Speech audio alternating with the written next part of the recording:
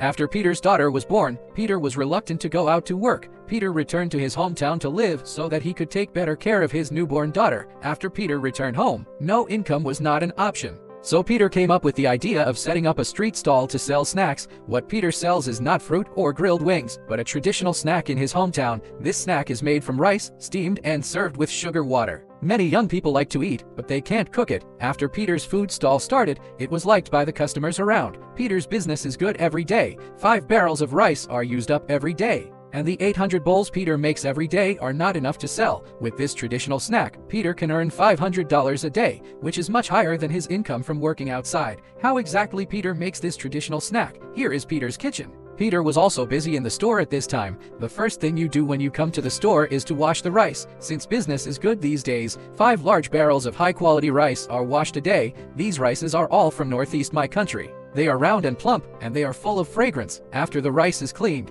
it can be thrown into the machine and polished into rice milk. Peter said that before there was no machine, grinding rice pulp was a very hard work. Because graphite was used to grind rice pulp at that time, and it took a few hours to grind a large bucket, now, with the addition of the machine, it only takes more than 10 minutes to start the machine to grind the rice into rice milk. And the efficiency has also been improved. The rice milk made from high-quality rice is as white as milk. After all the rice is ground into rice milk, the rice milk can be poured into a large pot and boiled. As the temperature gradually rises. The rice milk is quickly boiled into a sticky shape. At this time, the rice milk needs to be stirred continuously. After a while, the rice milk becomes sticky. At this time, the surface can be flattened and then the lid of the pot can be covered and steamed on high heat. During the cooking of the rice milk, Peter also prepared a secret syrup. He poured rock sugar and brown sugar into the warm water, then added some other seasonings and finally added a spoonful of rice milk to cook together. It didn't take long for the soup to thicken, somewhat similar to the northern pimple soup. After the soup is cooked, the rice milk on the other side has also been steamed and turned into hair cakes. It can be seen that the size of this hair cake is really too big. It looks like a big cake from the outside. After tearing off the tablecloth,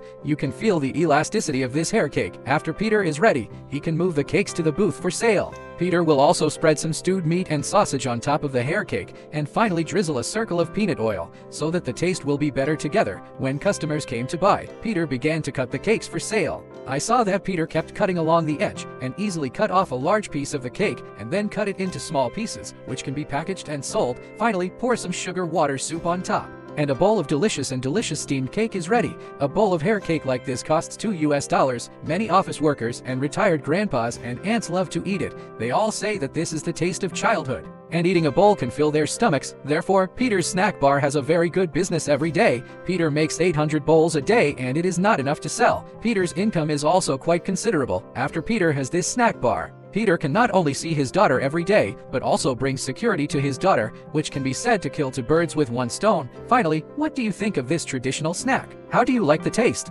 Welcome everyone to leave a message to discuss.